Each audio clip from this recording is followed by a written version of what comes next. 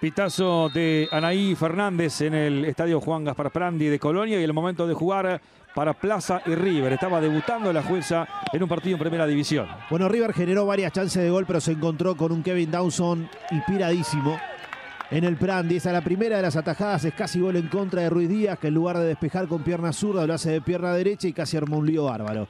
El arquero no lo esperaba, contra pie reacciona muy bien, evita el 1 a 0, pero después River sigue teniendo ocasiones, en este caso pase de izquierda a derecha y de los Santos, que jugó muy bien. Va a tocar la pelota al medio, define Cabrera, no lo hace bien. La pelota pasa cerca del palo derecho, el arranque era todo de River. Esta es una de las recetas que tuvo River, buscar la espalda de Grayson. El toque del campeón del mundo para la definición de Michael Cabrera, que pasa muy cerca del palo derecho de Dawson. Otra más para el equipo de Iturralde. Centro, cabezazo del medio, la pelota deriva. Otra vez hacia atrás y remate de la Vega que se encuentra con el arquero. Un remate fuerte al medio y arriba. Pero el manotazo de Dawson era lo que le permitía al equipo de Plaza Colonia mantener el cero en su arco. Fue un comienzo de partido favorable a la visita. Después se empareja. Después ahí Plaza iguala un poquito las acciones. Otro ataque más para que busque por ahí River. Y esta es otra volada notable de Kevin Dawson. Vean cómo queda casi que suspendido en el aire. Y la manda al tiro de esquina. Contra el palo se le metía la pelota. Y nos metemos en el segundo tiempo donde River va a encontrar esta falta en la que Plaza Colonia protesta, se queja, entiende de que no hay infracción, porque de esta falta viene el gol. Yo creo que lo termina tocando abajo en última instancia lo termina tocando abajo. Viene, chopitea, tiro libre, golazo de Viera. Excelente el cabezazo del zaguero.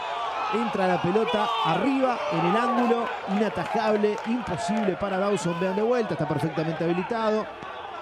Y va a poner el partido 1 a 0. Merecido, ¿no? River a esa altura ya lo merecía hacía rato ponerse en ventaja. Ahí estaba el cabezazo del zaguero Sanducero, que jugando con la número 13 la mandó al fondo de las piolas.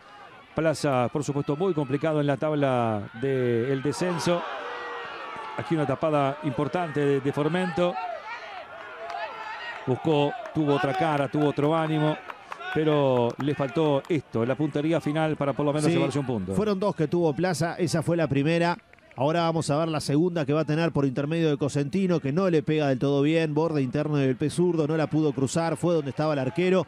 Fueron las dos que tuvo un equipo, un equipo que por lo menos trató de empujar al final, ¿no?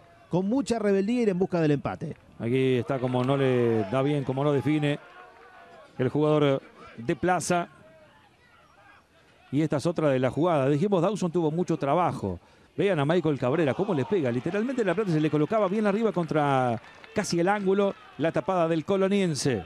Era como vuela Dawson, ¿eh? Una de las mejores atajadas de la tarde cuando era gol de Cabrera. Y el pitazo de Anaí Fernández para marcar el final del partido River 1, Plaza Colonia 0.